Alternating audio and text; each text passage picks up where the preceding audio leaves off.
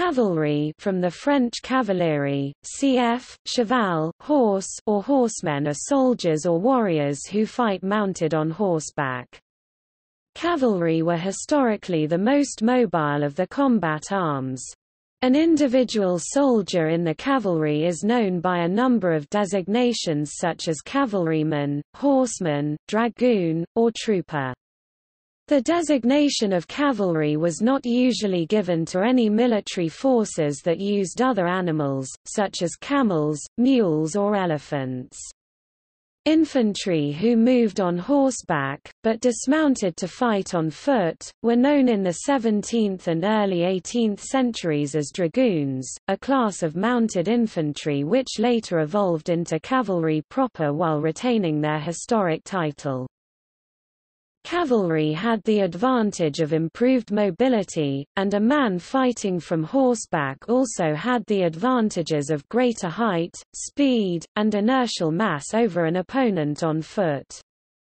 Another element of horse-mounted warfare is the psychological impact a mounted soldier can inflict on an opponent.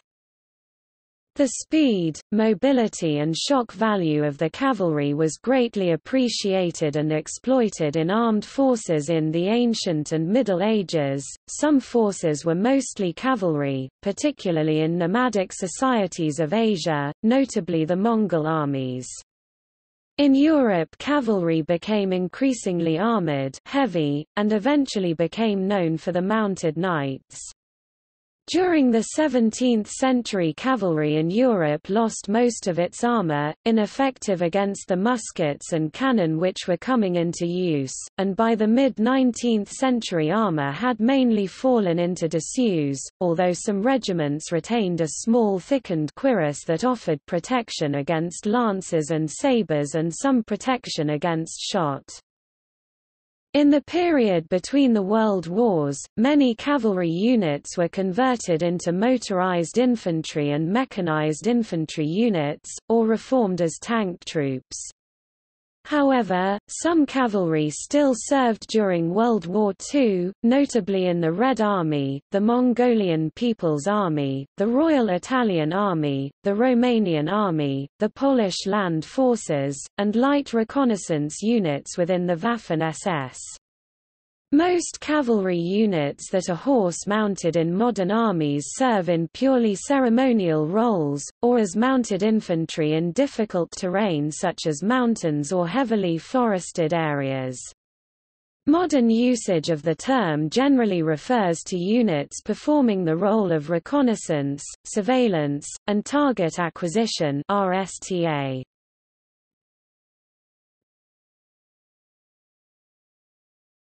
Topic: Role of cavalry. In many modern armies, the term cavalry is still often used to refer to units that are a combat arm of the armed forces which in the past filled the traditional horse-borne land combat light cavalry roles. These include scouting, skirmishing with enemy reconnaissance elements to deny them knowledge of own disposition of troops, forward security, offensive reconnaissance by combat, defensive screening of friendly forces during retrograde movement, retreat, restoration of command and control, deception, battle handover and passage of lines, relief in place, link-up, breakout operations, and raiding. The shock role, traditionally filled by heavy cavalry, is generally filled by units with the armored designation.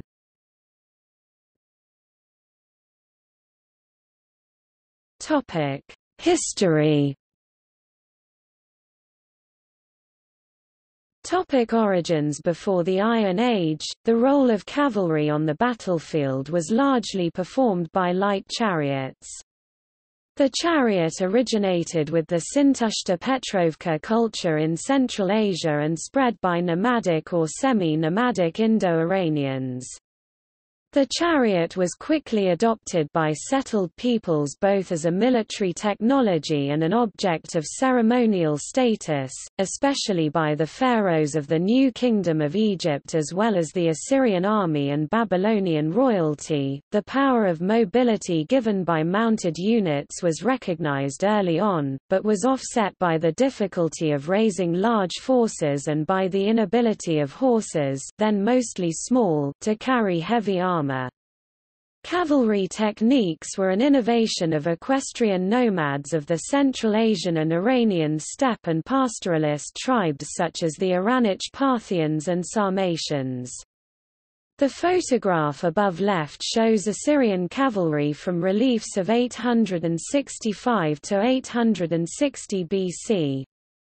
At this time, the men had no spurs, saddles, saddle cloths, or stirrups.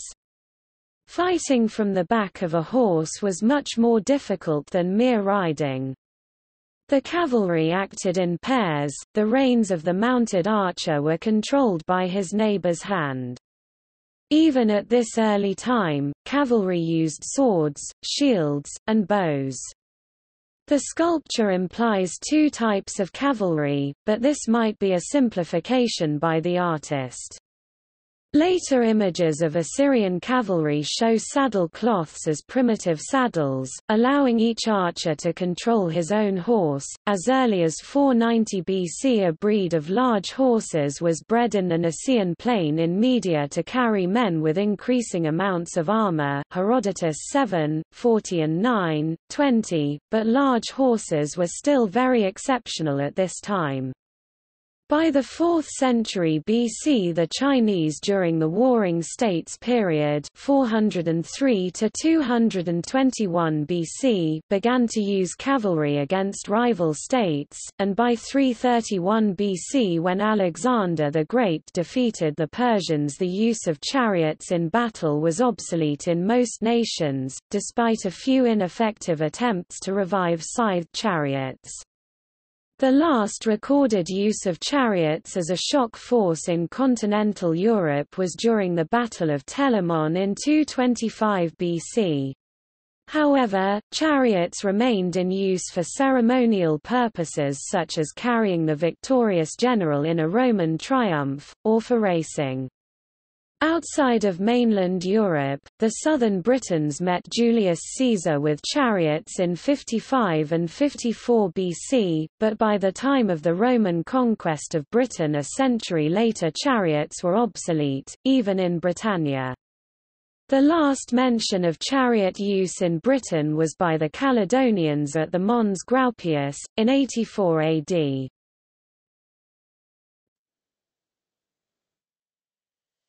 Topic: Ancient Greece, city-states, Thebes, Thessaly and Macedonia. During the classical Greek period cavalry were usually limited to those citizens who could afford expensive war horses. Three types of cavalry became common, light cavalry, whose riders, armed with javelins, could harass and skirmish, heavy cavalry, whose troopers, using lances, had the ability to close in on their opponents, and finally those whose equipment allowed them to fight either on horseback or foot. The role of horsemen did however remain secondary to that of the hoplites or heavy infantry who comprised the main strength of the citizen levies of the various city-states. Cavalry played a relatively minor role in ancient Greek city-states with conflicts decided by massed armored infantry. However, Thebes produced Pelopidas, her first great cavalry commander, whose tactics and skills were absorbed by Philip II of Macedon when Philip was a guest hostage in Thebes. Thessaly was widely known for producing competent cavalrymen, and later experiences in wars both with and against the Persians taught the Greeks the value of cavalry in skirmishing and pursuit. The Athenian author and soldier Xenophon in particular advocated the creation of a small but well-trained cavalry force. To that end, he wrote several manuals on horsemanship and cavalry operations. The Macedonian kingdom in the north, on the other hand, developed a strong cavalry force that culminated in the Hetairoi companion cavalry of Philip II of Macedon and Alexander the Great. In addition to these heavy cavalry, the Macedonian army also employed lighter horsemen called prodromoi for scouting and screening, as well as the Macedonian pike phalanx and various kinds of light infantry. There were also the Hippikon or horse rider, Greek heavy cavalry, armed with kontos or cavalry lance, and sword. These wore leather armor or mail plus a helmet. They were medium rather than heavy cavalry, meaning that they were better suited to be scouts, skirmishers, and pursuers rather than front-line fighters. The effectiveness of this combination of cavalry and infantry helped to break enemy lines and was most dramatically demonstrated in Alexander's conquests of Persia, Bactria, and northwestern India.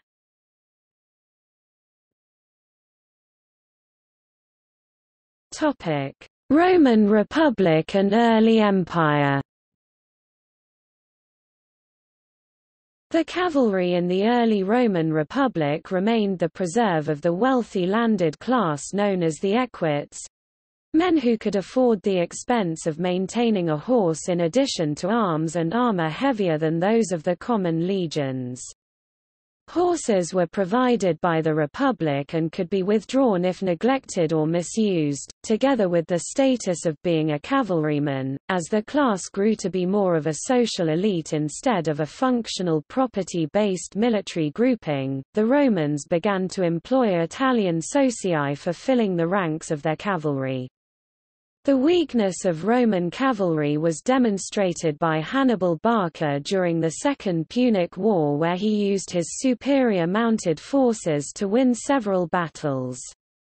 The most notable of these was the Battle of Cannae, where he inflicted a catastrophic defeat on the Romans. At about the same time the Romans began to recruit foreign auxiliary cavalry from among Gauls, Iberians, and Numidians, the last being highly valued as mounted skirmishers and scouts see Numidian cavalry.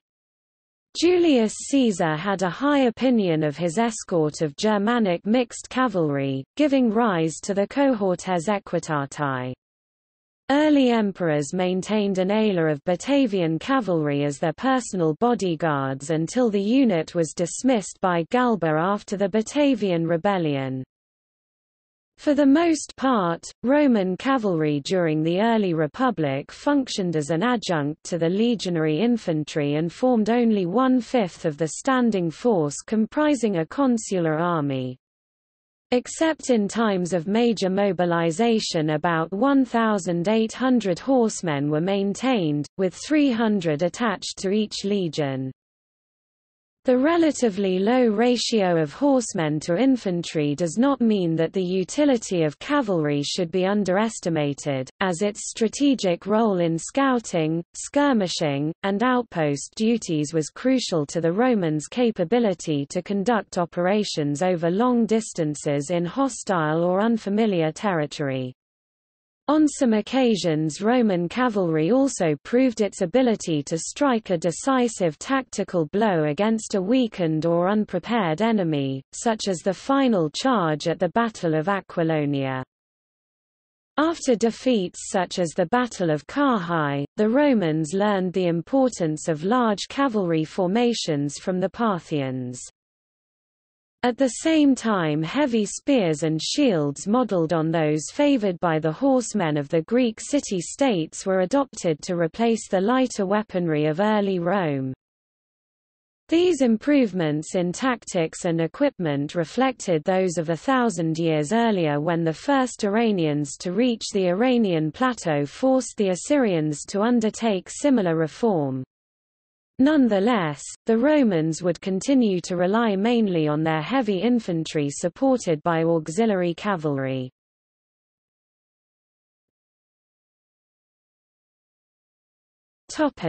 Late Roman Empire and the migration period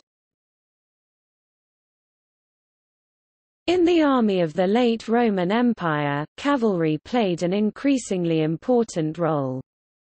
The spatha, the classical sword throughout most of the first millennium was adopted as the standard model for the empire's cavalry forces. The most widespread employment of heavy cavalry at this time was found in the forces of the Parthians and their Iranian-Sasanian successors.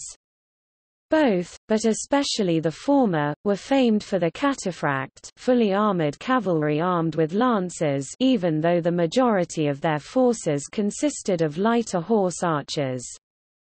The West first encountered this Eastern heavy cavalry during the Hellenistic period with further intensive contacts during the eight centuries of the Roman-Persian Wars. At first the Parthians' mobility greatly confounded the Romans, whose armored close-order infantry proved unable to match the speed of the Parthians. However, later the Romans would successfully adapt such heavy armor and cavalry tactics by creating their own units of cataphracts and clibanarii. The decline of the Roman infrastructure made it more difficult to field large infantry forces, and during the 4th and 5th centuries cavalry began to take a more dominant role on the European battlefield, also in part made possible by the appearance of new, larger breeds of horses. The replacement of the Roman saddle by variants on the Scythian model, with pommel and cantle, was also a significant factor as was the adoption of stirrups and the concomitant increase in stability of the rider's seat. Armored cataphracts began to be deployed in Eastern Europe and the Near East, following the precedents established by Persian forces, as the main striking force of the armies in contrast to the earlier roles of cavalry as scouts, raiders, and outflankers. The late Roman cavalry tradition of organized units in a standing army differed fundamentally from the nobility of the Germanic invaders, individual warriors who could afford to provide their own horses and equipment. While there was no direct linkage with these predecessors the early medieval knight also developed as a member of a social and martial elite, able to meet the considerable expenses required by his role from grants of land and other incomes.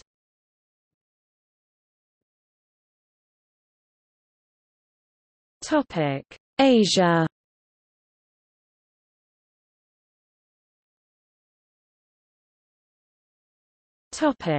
Central Asia.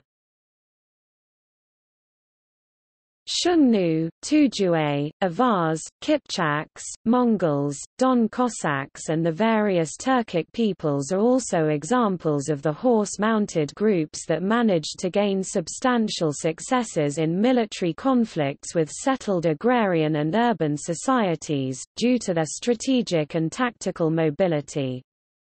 As European states began to assume the character of bureaucratic nation-states supporting professional standing armies, recruitment of these mounted warriors was undertaken in order to fill the strategic roles of scouts and raiders.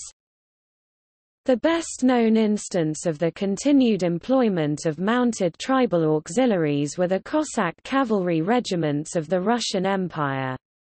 In Eastern Europe, Russia, and out onto the steppes, cavalry remained important much longer and dominated the scene of warfare until the early 17th century and even beyond, as the strategic mobility of cavalry was crucial for the semi-nomadic pastoralist lives that many steppe cultures led. Tibetans also had a tradition of cavalry warfare, in several military engagements with the Chinese Tang dynasty 618 to 907 AD.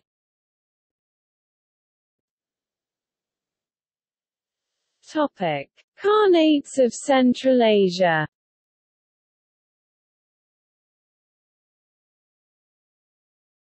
Topic: East Asia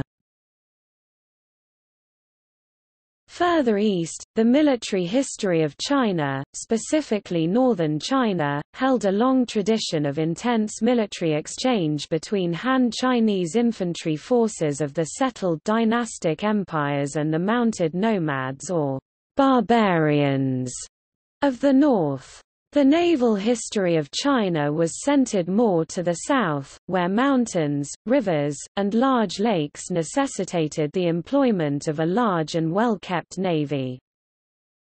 In 307 BC, King Wuling of Zhao, the ancient Chinese ruler of the former state of Jin territory, ordered his military commanders and troops to adopt the trousers of the nomads as well as practice the nomads' form of mounted archery to hone their new cavalry skills. The adoption of massed cavalry in China also broke the tradition of the chariot-riding Chinese aristocracy in battle, which had been in use since the ancient Shang dynasty c. 1600–1050 BC.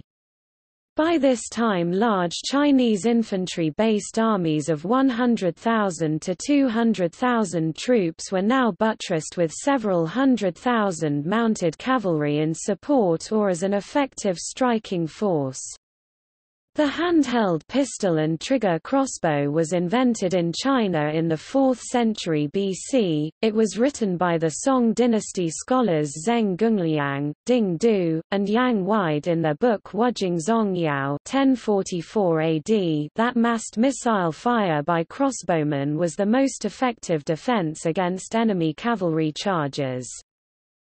On many occasions the Chinese studied nomadic cavalry tactics and applied the lessons in creating their own potent cavalry forces, while in others they simply recruited the tribal horsemen wholesale into their armies, and in yet other cases nomadic empires proved eager to enlist Chinese infantry and engineering, as in the case of the Mongol Empire and its Sinicized part, the Yuan dynasty 1279 1360 the Chinese recognized early on during the Han dynasty 202 BC to 220 AD that they were at a disadvantage in lacking the number of horses the northern nomadic peoples mustered in their armies. Emperor Wu of Han R141–87 BC went to war with the Dayuan for this reason, since the Dayuan were hoarding a massive amount of tall, strong, Central Asian-bred horses in the Hellenized Greek region of Fergana established slightly earlier by Alexander the Great. Although experiencing some defeats early on in the campaign, Emperor Wu's war from 104 BC to 102 BC succeeded in gathering the prized tribute of horses from Fergana. Cavalry tactics in China were enhanced by the invention of the saddle-attached stirrup by at least the 4th century, as the oldest reliable depiction of a rider with paired stirrups was found in a Jin dynasty tomb of the year 322 AD. The Chinese invention of the horse collar by the 5th century was also a great improvement from the breast harness, allowing the horse to haul greater weight without heavy burden on its skeletal structure. The horse warfare of Korea was first started during the ancient Korean kingdom Gojoseon. Since at least the 3rd century BC, there was influence of northern nomadic peoples and Yemaek peoples on Korean warfare. By roughly the 1st century BC, the ancient kingdom of Buyeo also had mounted warriors. The cavalry of Goguryeo, one of the three kingdoms of Korea, were called Gaemamusa, Gaemamusa Kai Ma Wushi and were renowned as a fearsome heavy cavalry force. King Gwanggaeto the Great often led expeditions into the Baekje, Gaya Confederacy, Buyeo, later Yan and against Japanese invaders with his cavalry. In the 12th century, Jurchen tribes began to violate the Goryeo-Jurchen borders, and eventually invaded Goryeo Korea. After experiencing the invasion by the Jurchen, Korean General Yun Gwan realized that Goryeo lacked efficient cavalry units. He reorganized the Goryeo military into a professional army that would contain decent and well-trained cavalry units.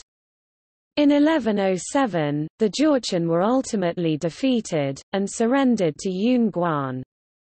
To mark the victory, General Yun built nine fortresses to the northeast of the Goryeo-Jurchen borders Nineseong, Dongbaeju The ancient Japanese of the Kofun period also adopted cavalry and equine culture by the 5th century AD. The emergence of the samurai aristocracy led to the development of armored horse archers, themselves to develop into charging lancer cavalry as gunpowder weapons rendered bows obsolete. An example is yabusame, ludimara type of mounted archery in traditional Japanese archery. An archer on a running horse shoots three special turnip-headed arrows successively at three wooden targets. This style of archery has its origins at the beginning of the Kamakura period. Minamoto no Yoritomo became alarmed at the lack of archery skills his samurai had. He organized yabusame as a form of practice.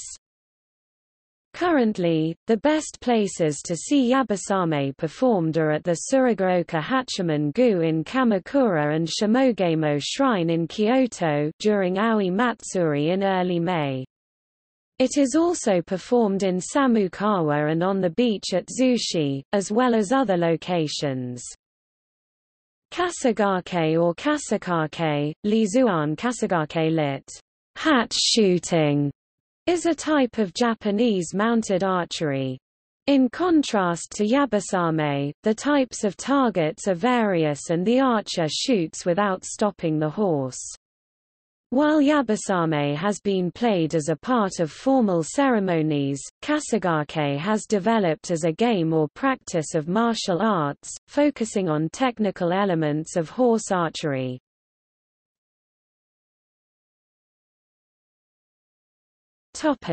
South Asia. In the Indian subcontinent, cavalry played a major role from the Gupta dynasty 320 to 600 period onwards.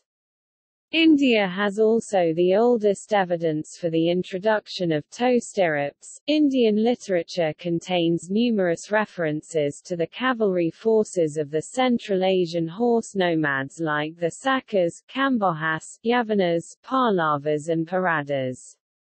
Numerous Puranic texts refer to a conflict in ancient India 16th century BC, in which the cavalry forces of five nations called Five Hordes Panka, Ganan, or Kshatriya Hordes Kshatriya Gana, attacked and captured the throne of Ayodhya by dethroning its Vedic king Bahu, the Mahabharata, Ramayana, numerous Puranas and some foreign sources numerously attest that Kamboja cavalry was frequently requisitioned in ancient wars.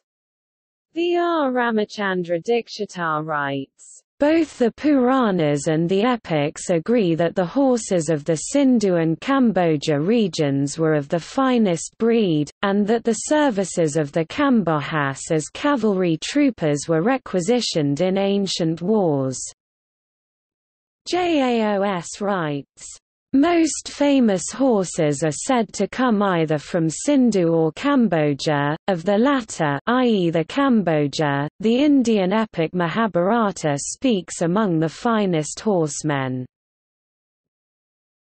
Mahabharata c. 950 BC speaks of the esteemed cavalry of the Kambojas, Sakas, Yavanas and Tusharas, all of whom had participated in the Kurukshetra war under the supreme command of Kamboja ruler Sudakshan Kamboj. Mahabharata and Vishnudharmottara Purana especially styles the Kambojas, Yavanas, Gandharas etc. as Ashva.Yuda.Kushala expert cavalryman. In the Mahabharata War, the Kamboja cavalry along with that of the Sakas, Yavanas is reported to have been enlisted by the Kuru king Duryodhana of Hastinapura. Herodotus c. 484 c. 425 BC attests that the Gandharian mercenaries i.e. Gandharans, Kambojans of Gandhari Strapi of Achaemenids from the 20th Strapi of the Achaemenids were recruited in the army of Emperor Xerxes I 486 to 465 BC, which he led against the Hellas.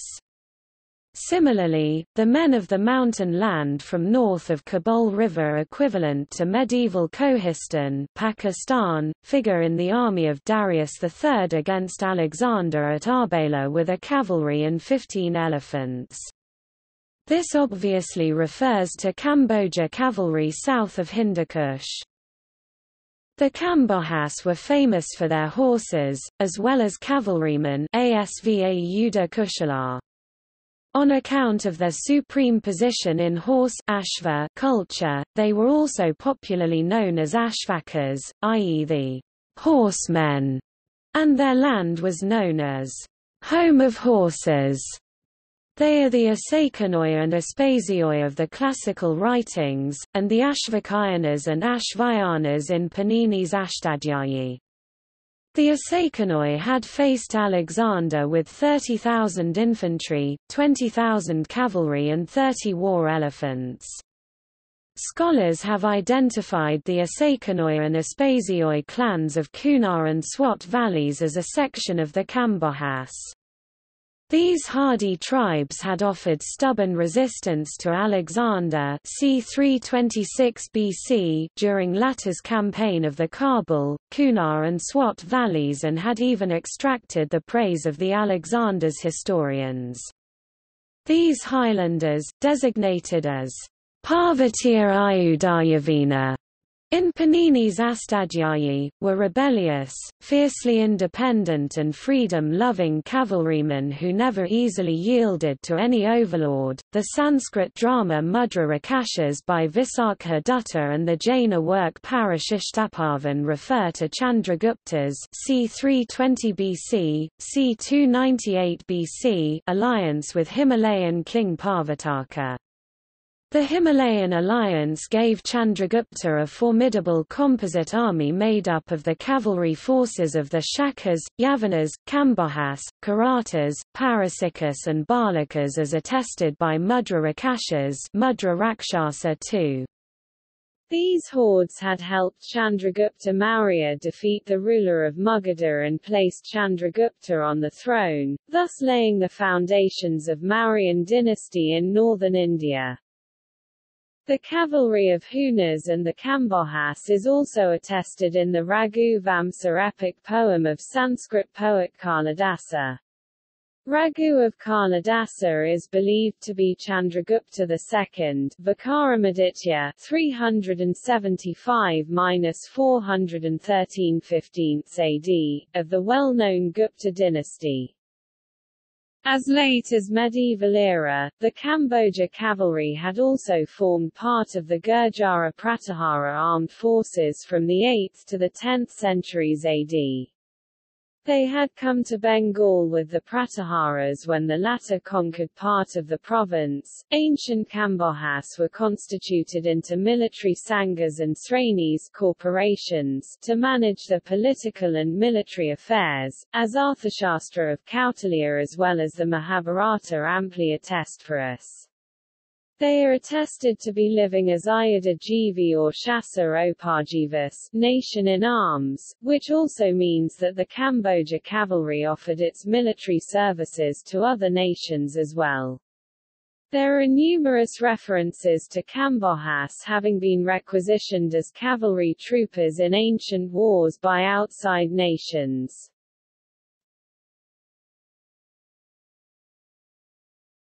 Topic. European Middle Ages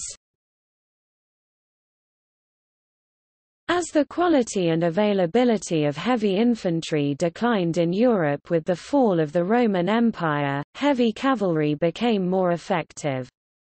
Infantry that lack the cohesion and discipline of tight formations are more susceptible to being broken and scattered by shock combat. The main role of heavy cavalry, which rose to become the dominant force on the European battlefield. As heavy cavalry increased in importance, it became the main focus of military development. The arms and armor for heavy cavalry increased, the high-backed saddle developed, and stirrups and spurs were added, increasing the advantage of heavy cavalry even more. This shift in military importance was reflected in society as well. Knights took center stage both on and off the battlefield. These are considered the ultimate in heavy cavalry, well equipped with the best weapons, state-of-the-art armor from head to foot, leading with the lance in battle in a full gallop, close formation, knightly charge, that might prove irresistible, winning the battle almost as soon as it begun. But knights remained the minority of total available combat forces, the expense of arms, armor, and horses was only affordable to a select few.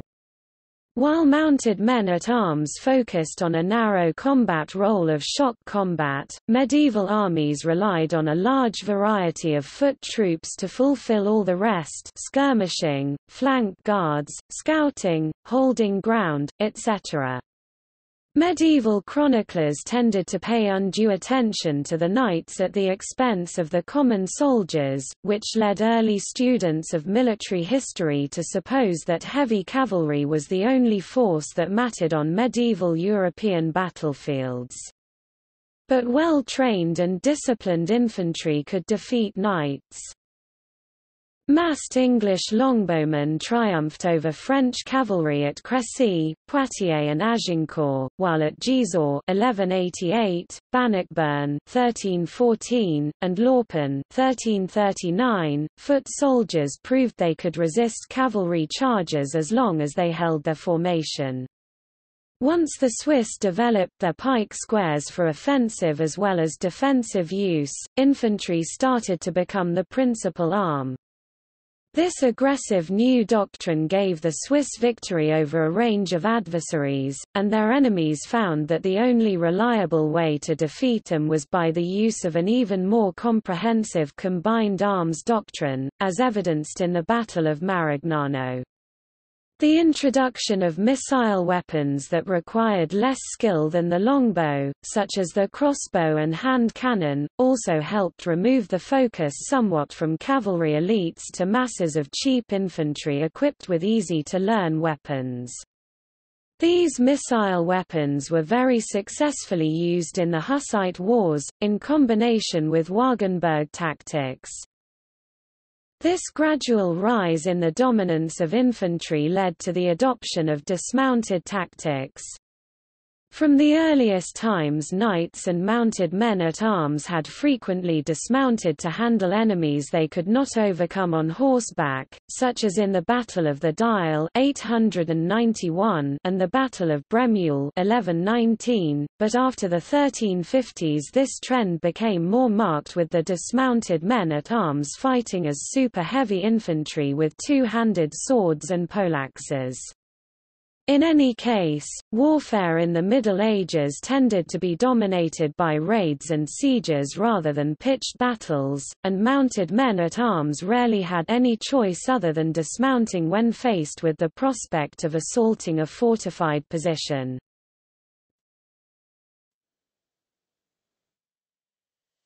Topic: Greater Middle East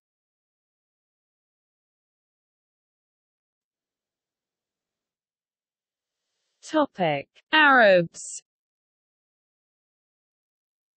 The Islamic prophet Muhammad made use of cavalry in many of his military campaigns including the expedition of Dhu Qarad, and the expedition of Zayd ibn Haritha in Al-Is which took place in September, 627 AD, fifth month of 6R of the Islamic calendar. Early organized Arab mounted forces under the Rashidun Caliphate comprised a light cavalry armed with lance and sword.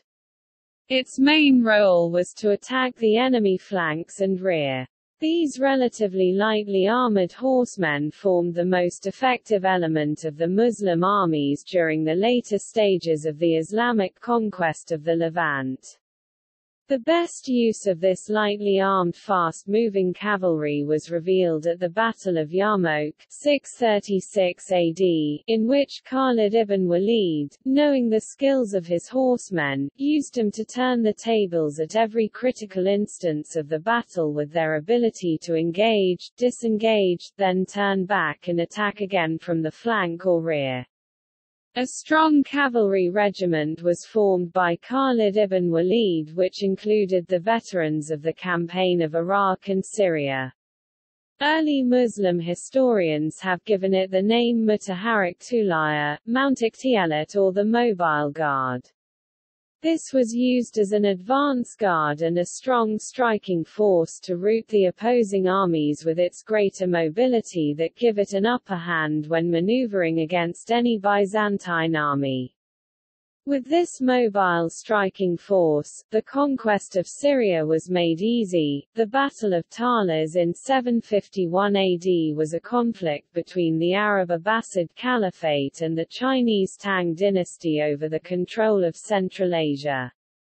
Chinese infantry were routed by Arab cavalry near the bank of the river Talas.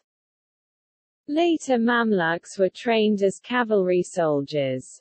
Mamluks were to follow the dictates of al-Furusiyya, a code of conduct that included values like courage and generosity but also doctrine of cavalry tactics, horsemanship, archery and treatment of wounds.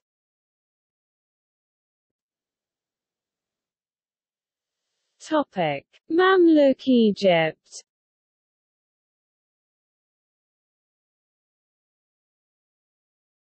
Topic: Maratha Empire.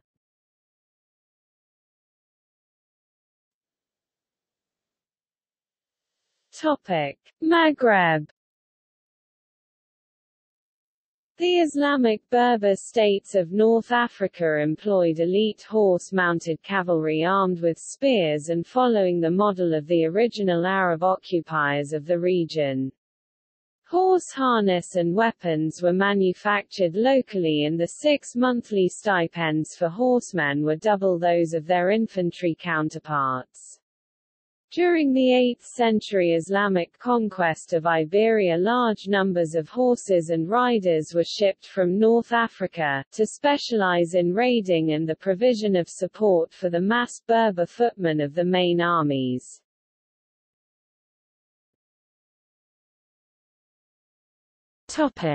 Al-Andalus.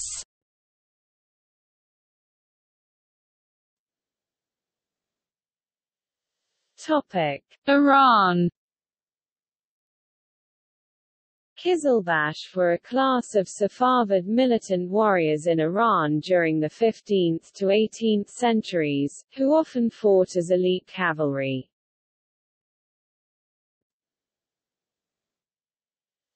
Topic: Ottoman Empire.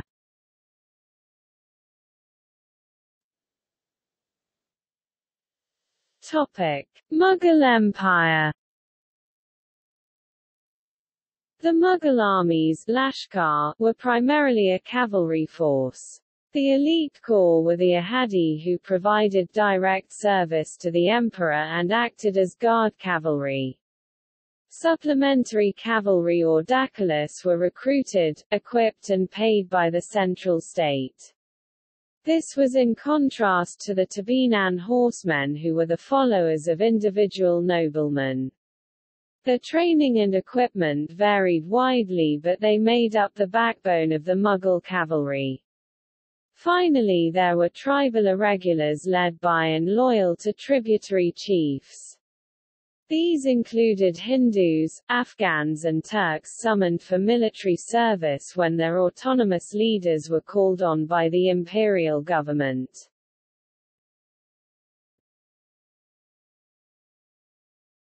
Topic: Renaissance Europe Ironically, the rise of infantry in the early 16th century coincided with the «Golden Age» of heavy cavalry. A French or Spanish army at the beginning of the century could have up to half its numbers made up of various kinds of light and heavy cavalry, whereas in earlier medieval and later 17th century armies the proportion of cavalry was seldom more than a quarter. Knighthood largely lost its military functions and became more closely tied to social and economic prestige in an increasingly capitalistic Western society. With the rise of drilled and trained infantry, the mounted men-at-arms, now sometimes called gendarmes and often part of the standing army themselves, adopted the same role as in the Hellenistic age, that of delivering a decisive blow once the battle was already engaged, either by charging the enemy in the flank or attacking their commander-in-chief. From the 1550s onwards, the use of gunpowder weapons solidified infantry's dominance of the battlefield and began to allow true mass armies to develop. This is closely related to the increase in the size of armies throughout the early modern period. Heavily armored cavalrymen were expensive to raise and maintain, and it took years to replace a skilled horseman or a trained horse, while arquebusiers and later musketeers could be trained and kept in the field at much lower cost, and were much easier to replace. The Spanish tercio and later formations relegated cavalry to a supporting role. The pistol was specifically developed to try to bring cavalry back into the conflict, together with maneuvers such as the caracole.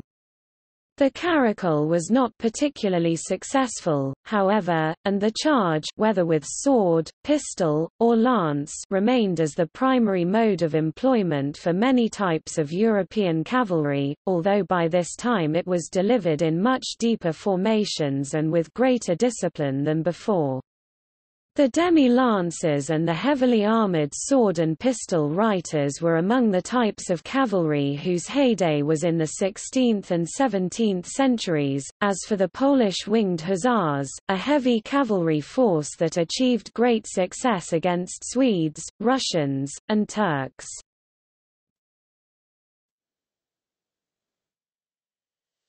Topic: 18th century Europe and Napoleonic Wars. Cavalry retained an important role in this age of regularization and standardization across European armies. First and foremost they remained the primary choice for confronting enemy cavalry. Attacking an unbroken infantry force head-on usually resulted in failure, but extended linear infantry formations were vulnerable to flank or rear attacks. Cavalry was important at Blenheim 1704, Rossbach 1757, Eylau and Friedland 1807, remaining significant throughout the Napoleonic Wars. The greatest cavalry charge of modern history was at the 1807 Battle of Eylau, when the entire 11,000-strong French cavalry reserve, led by Marechal Murat, launched a huge charge on and through the Russian infantry lines.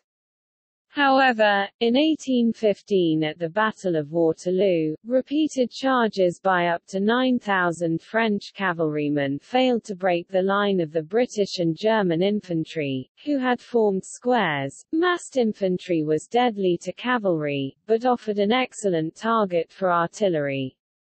Once the bombardment had disordered the infantry formation, cavalry were able to rout and pursue the scattered foot soldiers.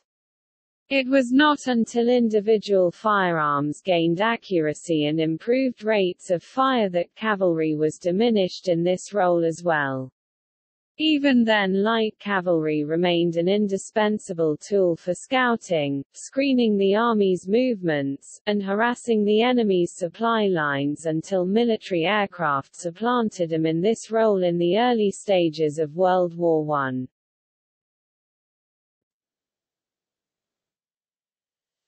Topic: 19th century.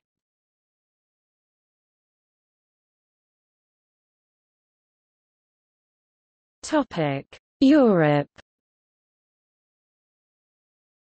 By the 19th century, European cavalry fell into four main categories.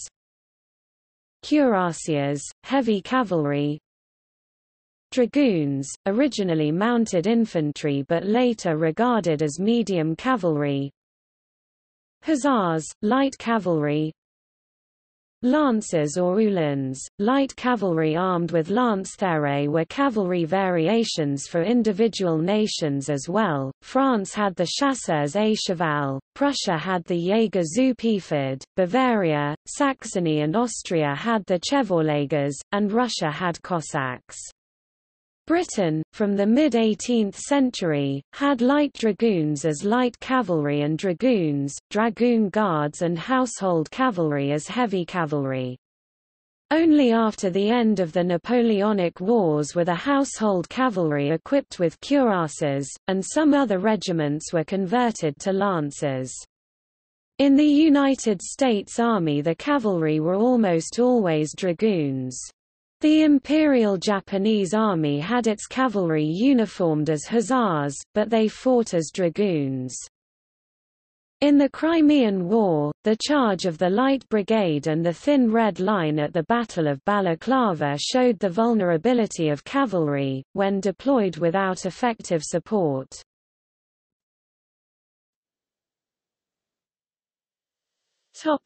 United States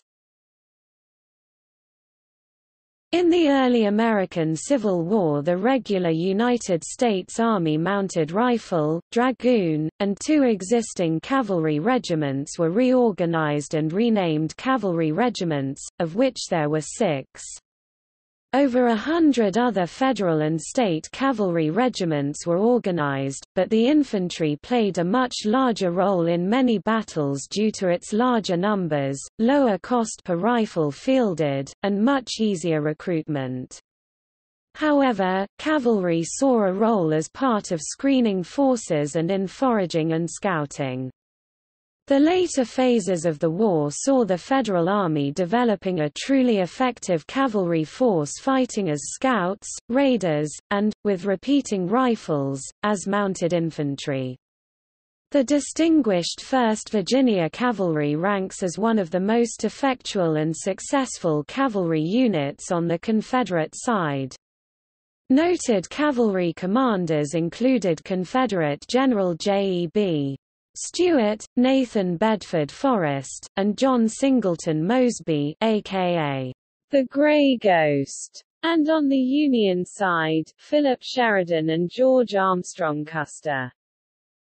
Post-Civil War, as the volunteer armies disbanded, the regular Army cavalry regiments increased in number from 6 to 10, among them Custer's U.S. 7th Cavalry Regiment of Little Bighorn fame, and the African-American U.S. 9th Cavalry Regiment and U.S. 10th Cavalry Regiment. The black units, along with others both cavalry and infantry, collectively became known as the Buffalo Soldiers. According to Robert M. Utley, the Frontier Army was a conventional military force trying to control, by conventional military methods, a people that did not behave like conventional enemies and, indeed, quite often were not enemies at all. This is the most difficult of all military assignments, whether in Africa, Asia, or the American West. These regiments, which rarely took the field as complete organizations, served throughout the American Indian Wars through the close of the frontier in the 1890s. Volunteer cavalry regiments like the Rough Riders consisted of horsemen such as cowboys, ranchers and other outdoorsmen, that served as a cavalry in the United States military.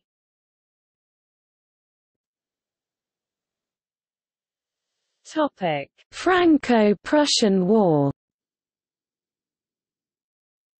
During the Franco-Prussian War, at the Battle of Mars-la-Tour in 1870, a Prussian cavalry brigade decisively smashed the center of the French battle line, after skillfully concealing their approach.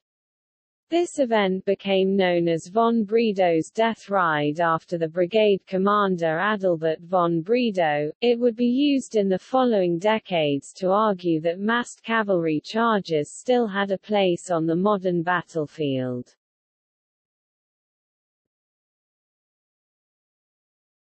Topic: Imperial expansion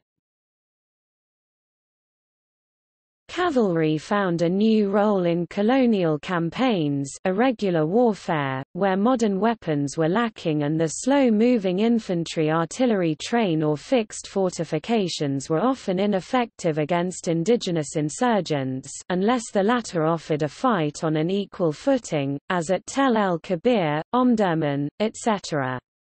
Cavalry flying columns proved effective, or at least cost-effective, in many campaigns. Although an astute native commander like Samori in Western Africa, Shamil in the Caucasus, or any of the better Boer commanders could turn the tables and use the greater mobility of their cavalry to offset their relative lack of firepower compared with European forces. In 1903 the British Indian Army maintained 40 regiments of cavalry, numbering about 25,000 Indian sowars cavalrymen, with British and Indian officers. Among the more famous regiments in the lineages of the modern Indian and Pakistani armies are Governor-General's Bodyguard now President's Bodyguard Skinner's Horse now India's first horse Skinner's Horse. Gardiner's Lancers now India's second Lancers Gardiner's Horse. Hodson's Horse now India's third horse Hodson's of the Bengal Lancers fame 6th Bengal Cavalry later amalgamated with 7th Hariana Lancers to form 18th King Edward's Own Cavalry now 18th Cavalry of the Indian Army. Probyn's Horse now 5 Horse, Pakistan. Royal Deccan Horse now India's the Deccan Horse. Poona Horse now India's the Poona Horse Scinde horse now India's the Scinde horse. Queen's Own Guides Cavalry now Pakistan 11th Prince Albert Victor's own cavalry Frontier Force now 11 Cavalry Frontier Force, Pakistan several of these formations are still active, though they now are armoured formations, for example the Guides Cavalry in Pakistan. The French army maintained substantial cavalry forces in Algeria and Morocco from 1830 until the end of the Second World War. Much of the Mediterranean coastal terrain was suitable for mounted action and there was a long-established culture of horsemanship amongst the Arab and Berber inhabitants. The French forces included Spahis, chasseurs d'Afrique, Foreign Legion cavalry and mounted goumiers.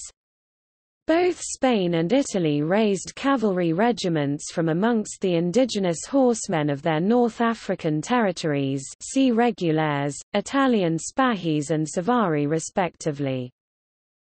Imperial Germany employed mounted formations in southwest Africa as part of the Schutztruppen colonial army garrisoning the territory.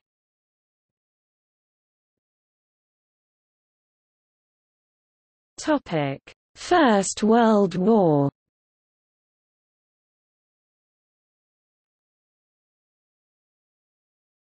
Topic: Pre-war developments. At the beginning of the 20th century all armies still maintained substantial cavalry forces, although there was contention over whether their role should revert to that of mounted infantry the historic dragoon function. Following the experience of the South African War of 1899–1902 where mounted Boer citizen commandos fighting on foot from cover proved more effective than regular cavalry the British Army withdrew lances for all but ceremonial purposes and placed a new emphasis on training for dismounted action. In 1908 however the six British Lancer regiments in existence resumed use of this impressive but obsolete weapon for active service. In 1882 the Imperial Russian Army converted all its Line Hussar and Lancer regiments to dragoons, with an emphasis on mounted infantry training. In 1910 these regiments reverted to their historic roles, designations and uniforms, by 1909 official regulations dictating the role of the Imperial German cavalry had been revised to indicate an increasing realization of the realities of modern warfare.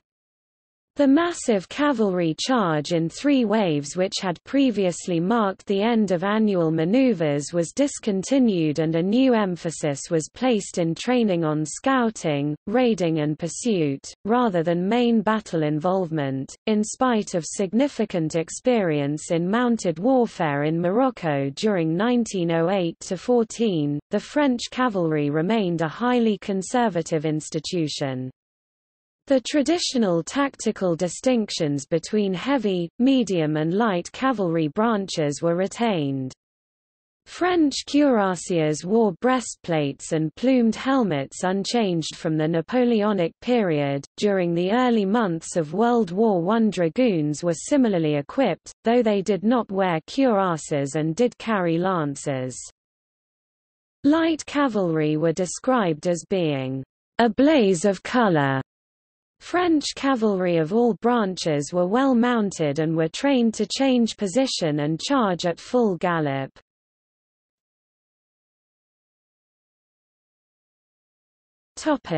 Opening stages In August 1914 all combatant armies still retained substantial numbers of cavalry and the mobile nature of the opening battles on both eastern and western fronts provided a number of instances of traditional cavalry actions, though on a smaller and more scattered scale than those of previous wars. The Imperial German cavalry, while as colorful and traditional as any in peacetime appearance, had adopted a practice of falling back on infantry support when any substantial opposition was encountered. These cautious tactics aroused derision amongst their more conservative French and Russian opponents but proved appropriate to the new nature of warfare. A single attempt by the German army, on 12 August 1914, to use six regiments of massed cavalry to cut off the Belgian field army from Antwerp founded when they were driven back in disorder by rifle fire. The two German cavalry brigades involved lost 492 men and 843 horses in repeated charges against dismounted Belgian lancers and infantry.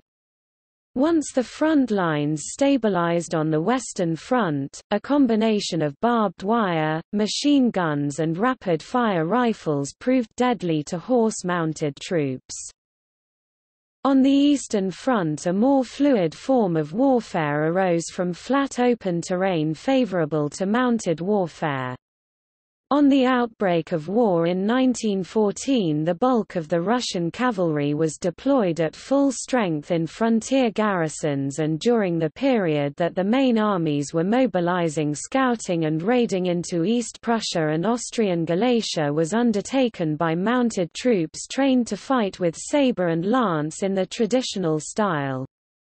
On 21 August 1914 the 4th Austro-Hungarian Cavalry Division fought a major mounted engagement at Jarosławice with the Russian 10th Cavalry Division, in what was arguably the final historic battle to involve thousands of horsemen on both sides. While this was the last massed cavalry encounter on the Eastern Front, the absence of good roads limited the use of mechanized transport and even the technologically advanced Imperial German Army continued to deploy up to 24 horse-mounted divisions in the east, as late as 1917.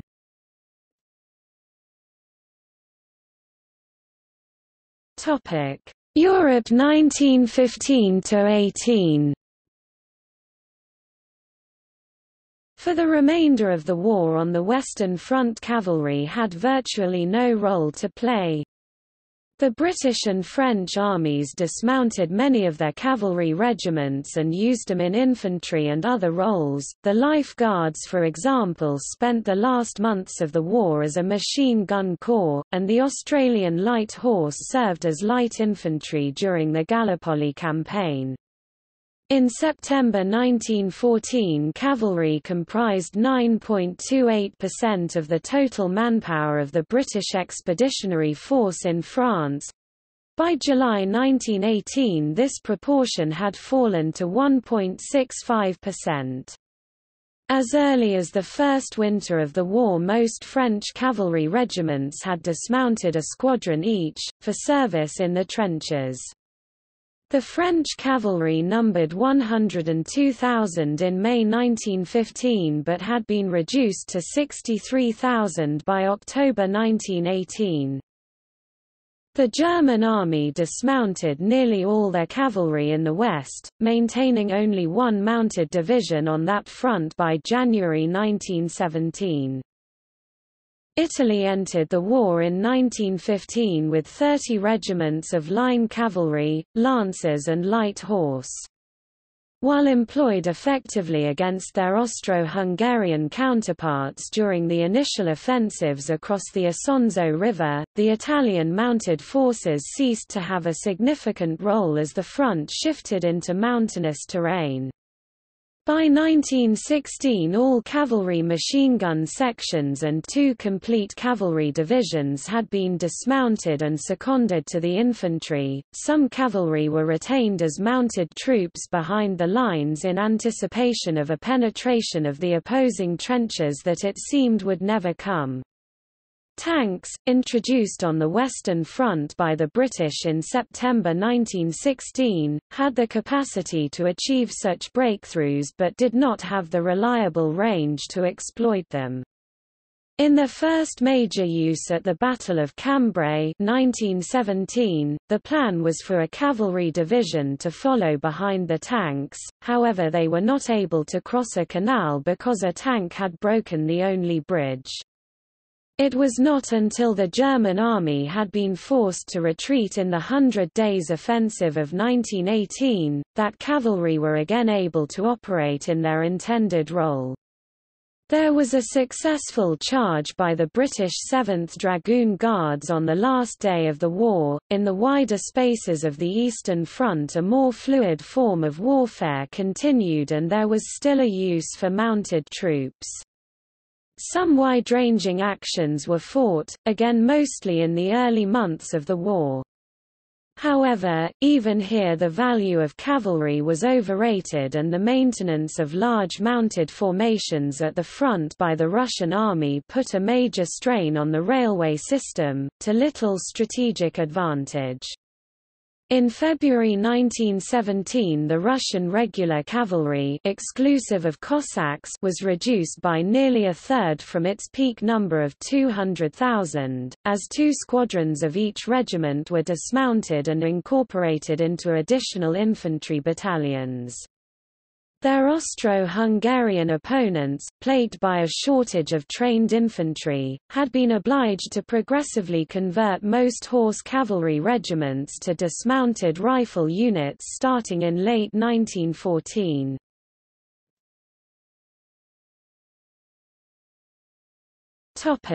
Middle East In the Middle East, during the Sinai and Palestine campaign mounted forces British, Indian, Ottoman, Australian, Arab and New Zealand retained an important strategic role both as mounted infantry and cavalry.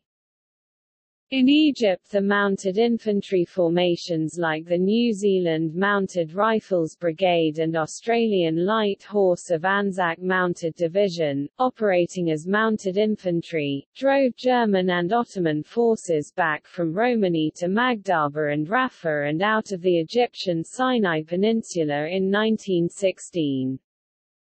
After a stalemate on the Gaza, Beersheba Line between March and October 1917, Beersheba was captured by the Australian Mounted Division's 4th Light Horse Brigade.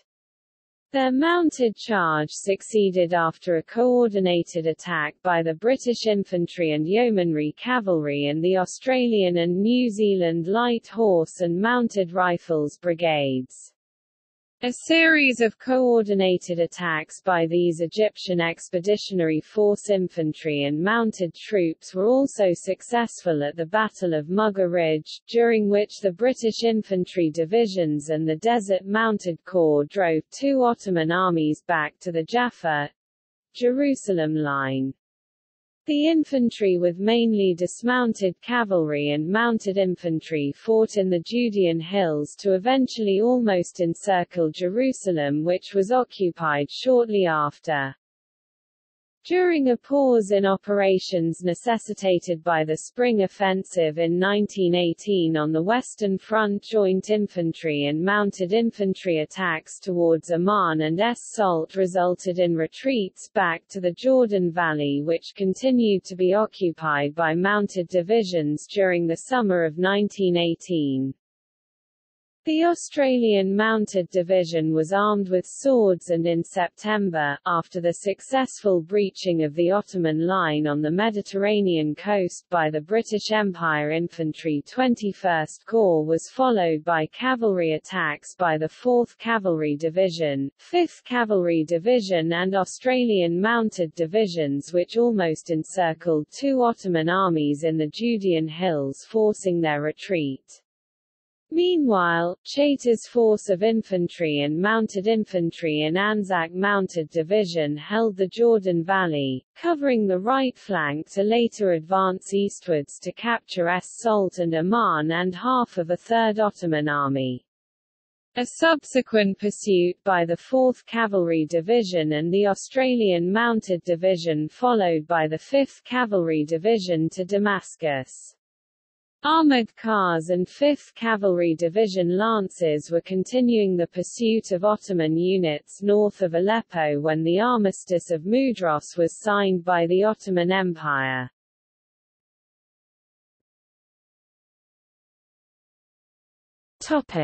Post-World War I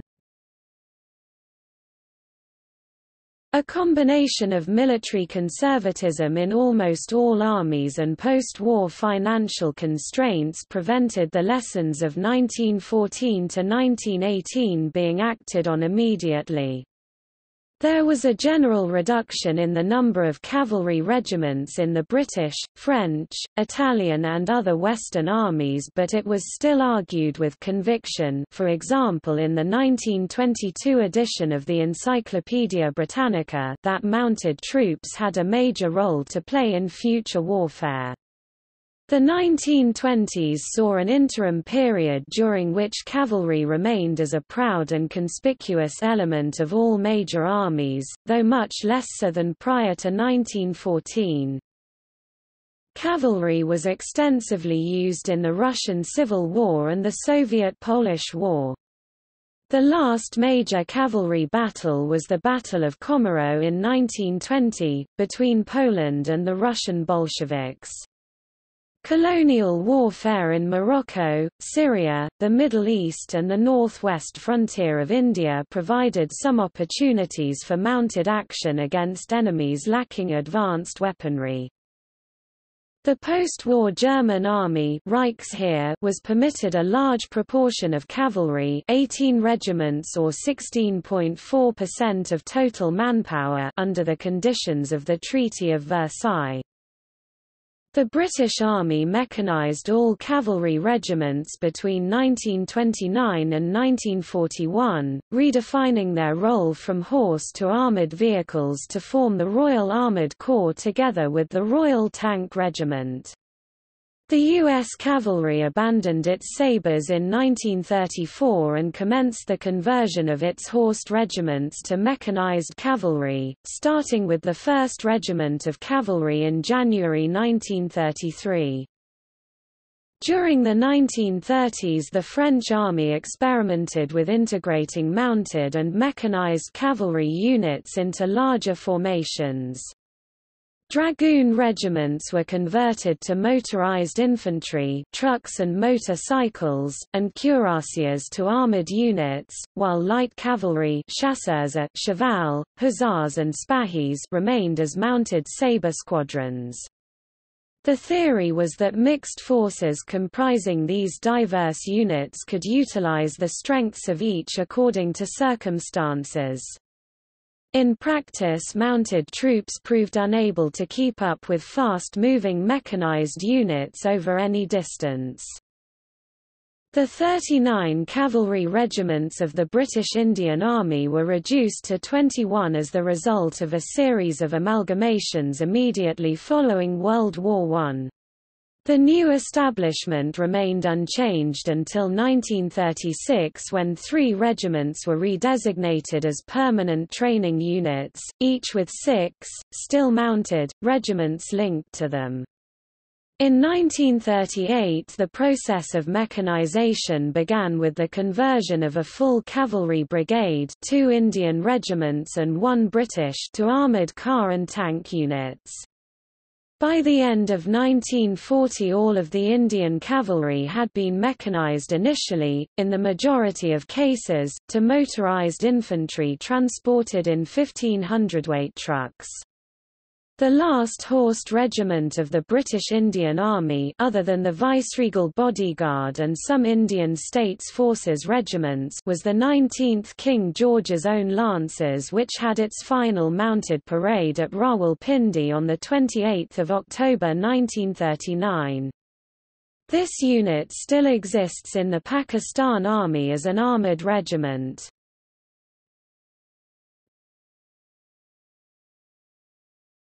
Topic: World War II. While most armies still maintained cavalry units at the outbreak of World War II in 1939, significant mounted action was largely restricted to the Polish, Balkan and Soviet campaigns.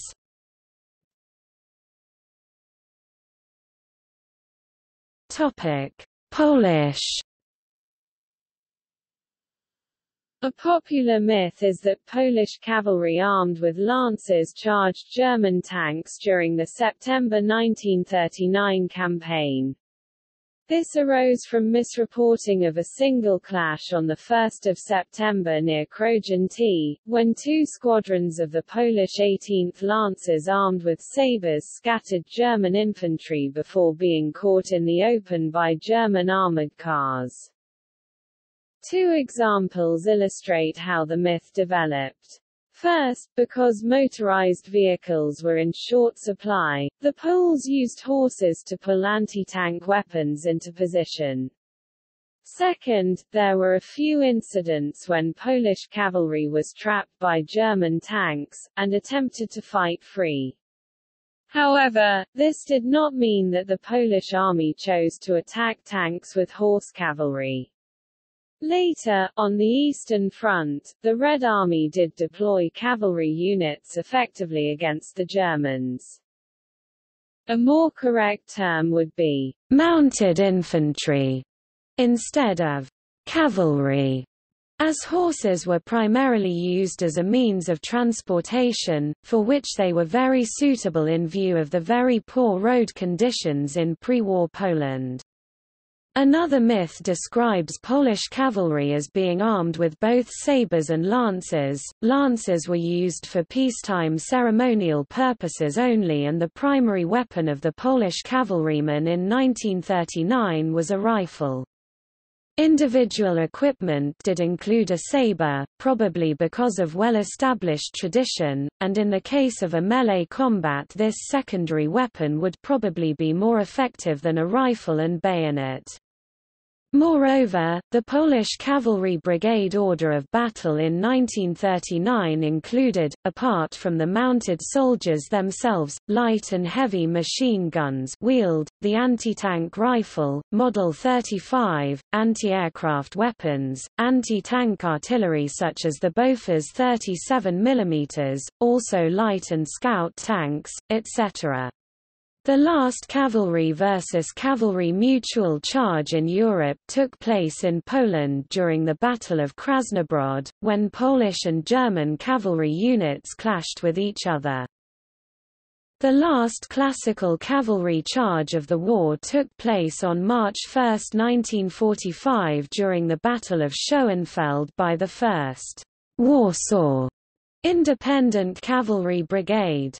Infantry and tanks had been employed to little effect against the German position, both of which floundered in the open wetlands only to be dominated by infantry and anti-tank fire from the German fortifications on the forward slope of Hill 157, overlooking the wetlands. The Germans had not taken cavalry into consideration when fortifying their position which, combined with the Warsaw S swift assault, overran the German anti-tank guns and consolidated into an attack into the village itself, now supported by infantry and tanks.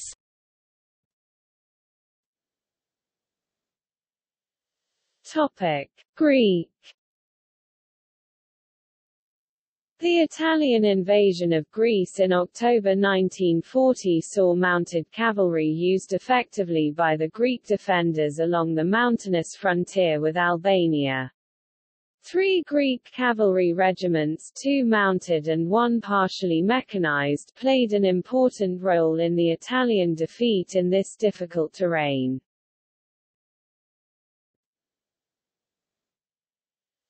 Topic. Soviet By the final stages of the war only the Soviet Union was still fielding mounted units in substantial numbers, some in combined mechanized and horse units. The advantage of this approach was that in exploitation mounted infantry could keep pace with advancing tanks. Other factors favoring the retention of mounted forces included the high quality of Russian Cossacks and other horse cavalry, and the relative lack of roads suitable for wheeled vehicles in many parts of the Eastern Front. Another consideration was that the logistic capacity required to support very large motorized forces exceeded that necessary for mounted troops. The main usage of Soviet cavalry involved infiltration through front lines with subsequent deep raids, which disorganized German supply lines. Another role was the pursuit of retreating enemy forces during major frontline operations and breakthroughs.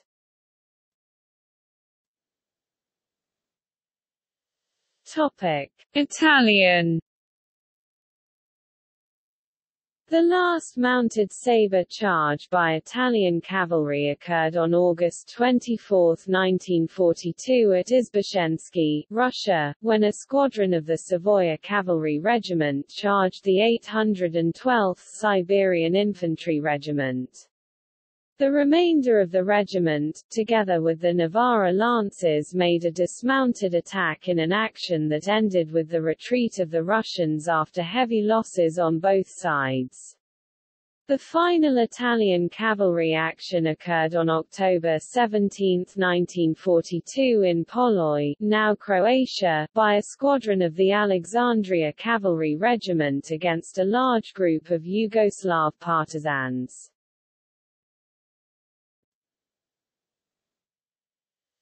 Topic. Other Axis Romanian, Hungarian and Italian cavalry were dispersed or disbanded following the retreat of the Axis forces from Russia. Germany still maintained some mounted, mixed with bicycles, SS and Cossack units until the last days of the war.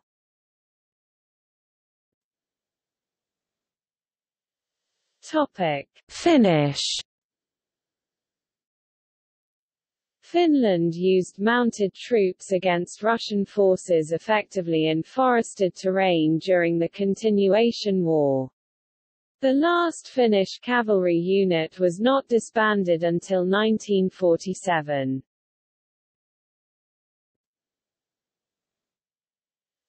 Topic: United States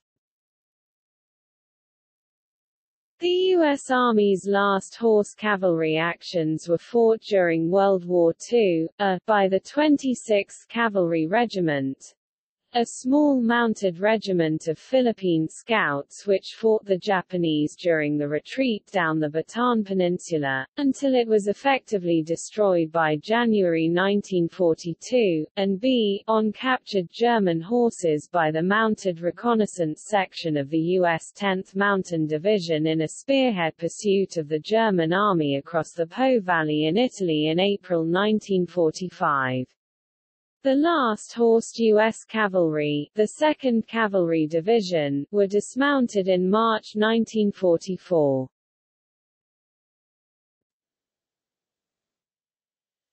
Topic: British Empire All British Army cavalry regiments had been mechanised since 1 March 1942 when the Queen's Own Yorkshire Dragoons Yeomanry was converted to a motorised role, following mounted service against the Vichy French in Syria the previous year. The final cavalry charge by British Empire forces occurred on 21 March 1942 when a 60-strong patrol of the Burma Frontier Force encountered Japanese infantry near Toungoo Airfield in central Myanmar.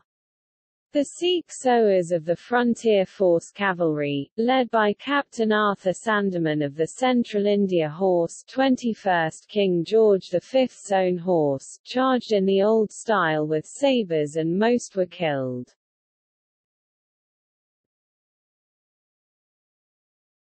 Topic. Mongolia In the early stages of World War II, mounted units of the Mongolian People's Army were involved in the Battle of Khalkhin Gol against invading Japanese forces. Soviet forces under the command of Georgy Zhukov, together with Mongolian forces, defeated the Japanese Sixth Army and effectively ended the Soviet-Japanese border wars. After the Soviet-Japanese Neutrality Pact of 1941, Mongolia remained neutral throughout most of the war, but its geographical situation meant that the country served as a buffer between Japanese forces and the Soviet Union. In addition to keeping around 10% of the population under arms, Mongolia provided half a million trained horses for use by the Soviet Army. In 1945 a partially mounted Soviet Mongolian cavalry mechanized group played a supporting role on the western flank of the Soviet invasion of Manchuria. The last active service seen by cavalry units of the Mongolian army occurred in 1946–1948, during border clashes between Mongolia and the Republic of China.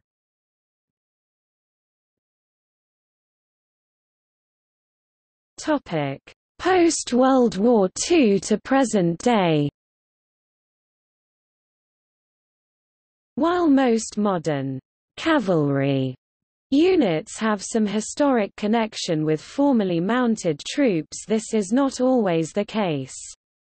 The modern Irish Defence Force (DF) includes a cavalry corps Equipped with armored cars and Scorpion-tracked combat reconnaissance vehicles. The DF has never included horse cavalry since its establishment in 1922, other than a small mounted escort of blue hussars drawn from the artillery corps when required for ceremonial occasions. However, the mystique of the cavalry is such that the name has been introduced for what was always a mechanized force. Some engagements in late 20th and early 21st century guerrilla wars involved mounted troops, particularly against partisan or guerrilla fighters in areas with poor transport infrastructure.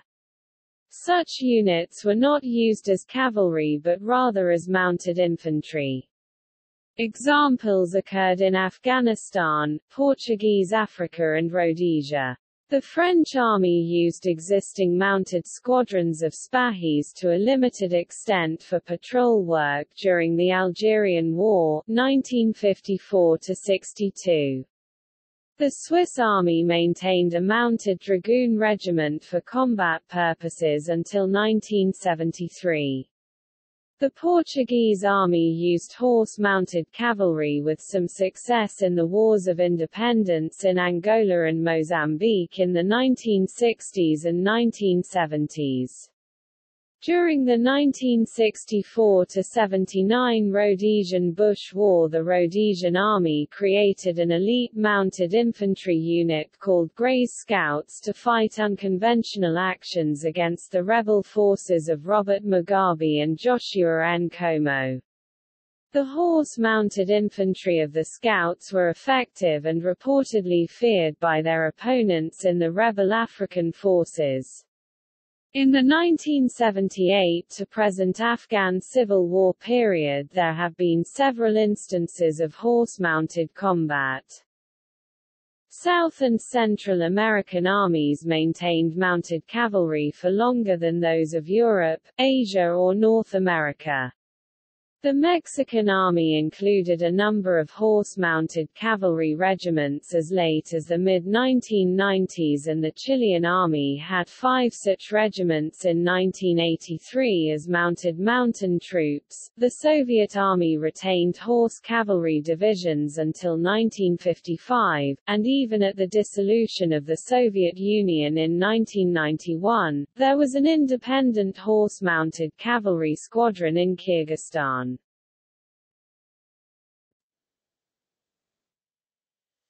Topic: Operational horse cavalry. Today, the Indian Army's 61st Cavalry is reported to be the largest remaining horse-mounted cavalry unit with operational potential in the world. It was raised in 1951 from the amalgamated state cavalry squadrons of Gwalior, Jodhpur, and Mysore. While primarily utilized for ceremonial purposes, the regiment can be deployed for internal security or police roles if required. The 61st Cavalry and the President's Bodyguard parade in full dress uniform in New Delhi each year in what is probably the largest assembly of traditional cavalry still to be seen in the world. Both the Indian and the Pakistani armies maintain armoured regiments with the titles of Lancers or Horse, dating back to the 19th century. As of 2007 the Chinese People's Liberation Army employed two battalions of horse-mounted border guards in Xinjiang Military District for border patrol work. The PLA-mounted units last saw action during border clashes with Vietnam in the 1970s and 80s, after which most cavalry units were disbanded as part of the major military downsizing of the 1980s. In the wake of the 2008 Sichuan earthquake, there were calls to rebuild the Army horse inventory for disaster relief in difficult terrain. Subsequent Chinese media reporting confirms that the Chinese army maintains operational horse cavalry at squadron strength in the Mongolia Autonomous Region for scouting and logistical purposes.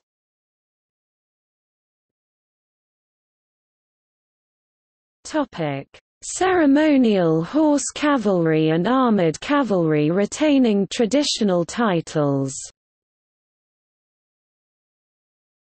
Cavalry or mounted gendarmerie units continue to be maintained for purely or primarily ceremonial purposes by the Algerian, Argentine, Bolivian, Brazilian, British, Bulgarian, Canadian, Chilean, Danish, Dutch, Finnish, French, Hungarian, Indian, Italian, Jordanian, Malaysian, Moroccan, Nepalese, Nigerian, North Korean, Omani, Pakistani, Panamanian, Paraguayan, Peruvian, Polish, Portuguese, Russian, Senegalese, Spanish, Swedish, Thai, Tunisian, Turkmenistan, United States, and Venezuelan armed forces. A number of armoured regiments in the British Army retain the historic designations of Hussars, Dragoons, Light Dragoons, Dragoon Guards, Lancers and Yeomanry.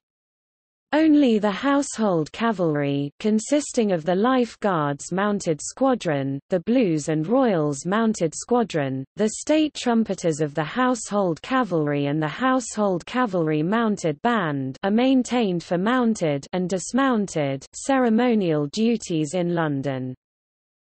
The French army still has regiments with the historic designations of cuirassiers, hussars, chasseurs, dragoons and spahis.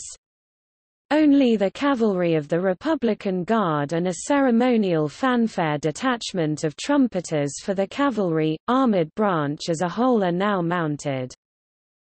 In the Canadian Army, a number of regular and reserve units have cavalry routes, including the Royal Canadian Hussars Montreal, the Governor-General's Horse Guards, Lord Strathcona's Horse, the Royal Canadian Dragoons, and the South Alberta Light Horse.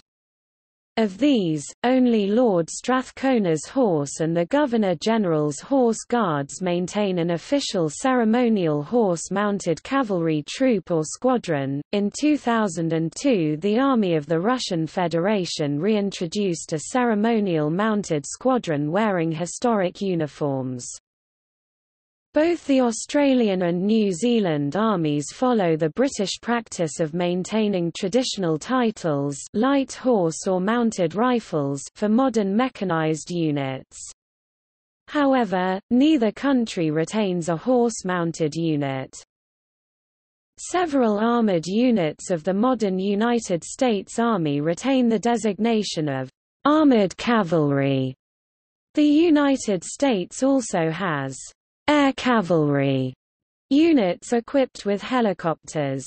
The Horse Cavalry Detachment of the U.S. Army's 1st Cavalry Division, made up of active-duty soldiers, still functions as an active unit, trained to approximate the weapons, tools, equipment and techniques used by the United States Cavalry in the 1880s. Topic non-combat support roles The 1st Troop Philadelphia City Cavalry is a volunteer unit within the Pennsylvania Army National Guard which serves as a combat force when in federal service but acts in a mounted disaster relief role when in state service. In addition, the Parsons Mounted Cavalry is a reserve officer training corps unit which forms part of the Corps of Cadets at Texas A&M University. Some individual U.S. states maintain cavalry units as a part of their respective state defense forces. The Maryland Defense Force includes a cavalry unit, Cavalry Troop A, which serves primarily as a ceremonial unit. The unit training includes a SABRE qualification course based upon the 1926 U.S. Army course. Cavalry Troop A also assists other Maryland agencies as a rural search and rescue asset. In Massachusetts, the National Lancers trace their lineage to a volunteer cavalry militia unit established in 1836 and are currently organized as an official part of the Massachusetts Organized Militia. The National Lancers maintain three units, Troops A, B, and C, which serve in a ceremonial role and assist in search and rescue missions.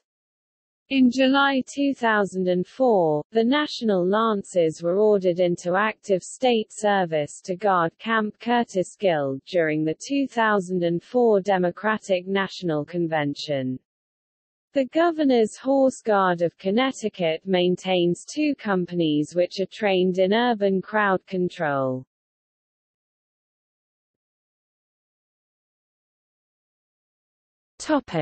Gallery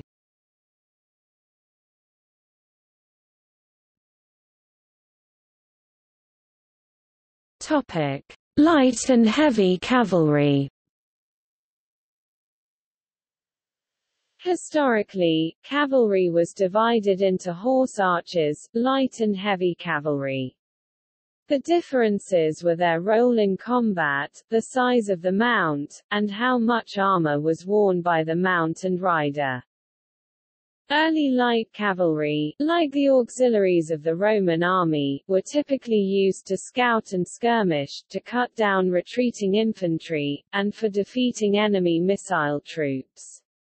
Armored cavalry such as the Byzantine cataphract were used as shock troops. They would charge the main body of the enemy and in many cases, their actions decided the outcome of the battle, hence the later term, battle cavalry. During the Gunpowder Age, armored cavalry units still retained cuirasses and helmets for their protective value against sword and bayonet strikes, and the morale boost these provide to the wearers. By this time the main difference between light and heavy cavalry was the training, the former was regarded as a tool for harassment and reconnaissance, while the latter was considered best for close-order charges. Since the development of armored warfare, the distinction between light and heavy armor has persisted basically along the same lines. Armored cars and light tanks have adopted the reconnaissance role while medium and heavy tanks are regarded as the decisive shock troops.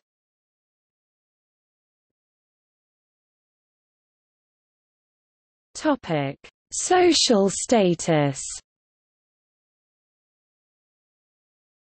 From the beginning of civilization to the 20th century, ownership of heavy cavalry horses has been a mark of wealth amongst settled peoples.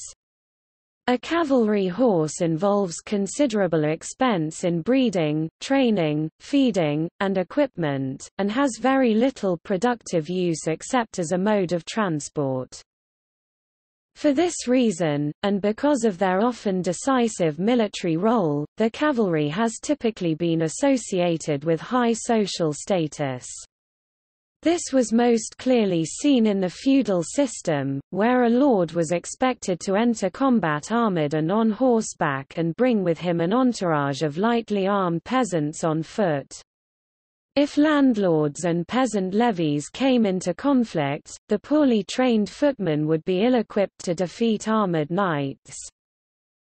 In later national armies, service as an officer in the cavalry was generally a badge of high social status. For instance prior to 1914 most officers of British cavalry regiments came from a socially privileged background and the considerable expenses associated with their role generally required private means, even after it became possible for officers of the line infantry regiments to live on their pay. Options open to poorer cavalry officers in the various European armies included service with less fashionable though often highly professional frontier or colonial units. These included the British Indian Cavalry, the Russian Cossacks or the French Chasseurs d'Afrique. During the 19th and early 20th centuries most monarchies maintained a mounted cavalry element in their royal or imperial guards. These ranged from small units providing ceremonial escorts and palace guards, through to large formations intended for active service. The mounted escort of the Spanish royal household provided an example of the former and the twelve cavalry regiments of the Prussian Imperial Guard an example of the latter. In either case the officers of such units were likely to be drawn from the aristocracies of their respective societies.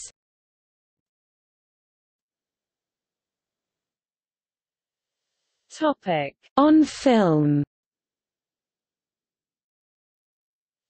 Some sense of the noise and power of a cavalry charge can be gained from the 1970 film Waterloo, which featured some 2,000 cavalrymen, some of them Cossacks. It included detailed displays of the horsemanship required to manage animal and weapons in large numbers at the gallop, unlike the real Battle of Waterloo, where deep mud significantly slowed the horses.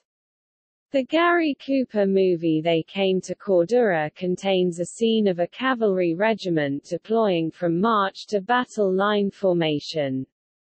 A smaller-scale cavalry charge can be seen in The Lord of the Rings, The Return of the King 2003, although the finished scene has substantial computer-generated imagery, raw footage and reactions of the riders are shown in the extended version DVD appendices. Other films that show cavalry actions include the charge of the Light Brigade, about the Battle of Balaclava in the Crimean War, 40,000 horsemen, about the Australian Light Horse during the Sinai and Palestine campaign of World War I, The Light Horsemen, about the Battle of Beersheba, 1917, War Horse, about the British cavalry in Europe during World War I, Hubal, about the last months September 1939 to April 1940, of Poland's First World War II guerrilla, Major Henryk Dobrzański. Hubal. The Patriot includes light cavalry usage. And Quiet Flows The Don depicts Don Cossacks during World War I, Kingdom of Heaven includes a cavalry charge during the Siege of.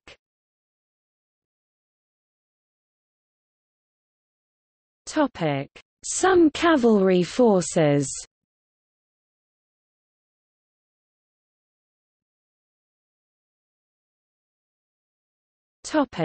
Some distinguished historic or contemporary horse cavalrymen.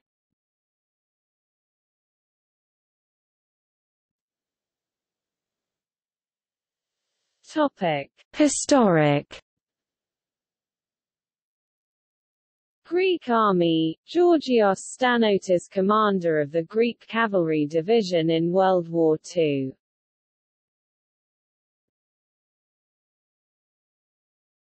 Topic: Contemporary.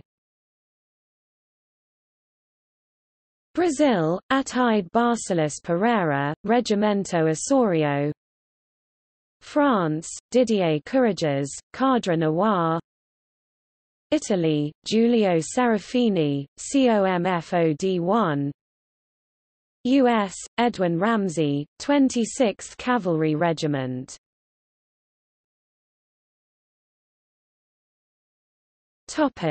See also.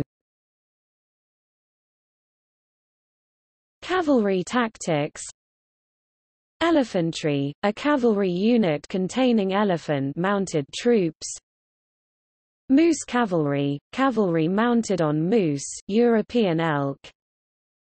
Heavy cavalry. Horses in warfare. Horses in World War I Horses in World War II Light cavalry.